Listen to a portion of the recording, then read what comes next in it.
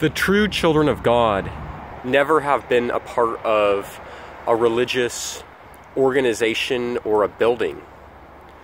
I know some people disagree and they say, well, look, even the disciples went to the synagogues.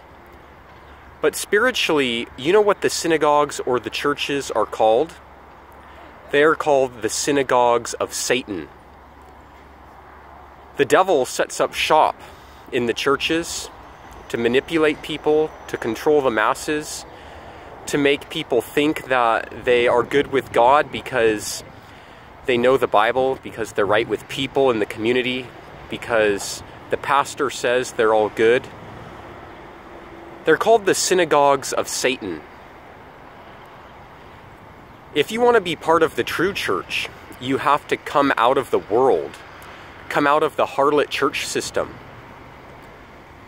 the true worshippers worship the Lord Jesus in spirit and in truth. Not in the Catholic Church, not in the Protestant Church, not in a Baptist church or a Pentecostal church. They worship Jesus in their spirit. They are filled with the Holy Spirit. Have you received the Holy Spirit? Have you been baptized in water and baptized in the Holy Spirit? Or are you just playing church, playing religion? Are you part of the synagogues of Satan? May the grace of Jesus be with you.